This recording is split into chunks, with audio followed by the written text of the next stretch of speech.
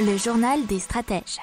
Et on parle de Greenpeace qui exige des critères plus stricts pour les fonds durables, mettant en cause leur impact environnemental dans une étude demandée à l'agence de notation suisse InRate qui a passé au crible 51 fonds suisses et luxembourgeois. Alors les travaux se sont concentrés sur la Suisse dans la mesure où il s'agit d'un des plus grands centres financiers au monde pour la gestion de fortune, mais aussi sur le Luxembourg où sont domiciliés de nombreux fonds d'investissement en Europe. Alors l'étude a examiné 51 fonds durables en les comparant à des fonds classiques sur la base de données datant d'octobre 2020.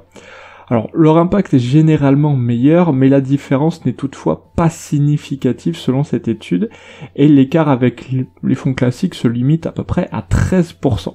Alors il y a un point clairement positif, c'est que ces fonds se tiennent nettement plus à l'écart des grandes controverses environnementales celles qui sont les déforestations ou les marées noires, avec là pour le coup un écart très significatif par rapport au fond classique.